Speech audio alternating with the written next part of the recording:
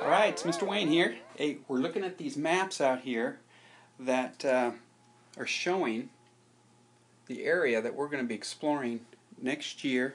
Well, we, I say we, because Mr. Wayne, the Wangler, will be taking an expedition from Phoenix, right here, my hometown right now, and we're going to be traveling to the northern part, the northwestern part of Nevada, and then we're going to be uh, exploring parts of California, the Lake Tahoe area, and all parts in between. So follow follow me on the link below.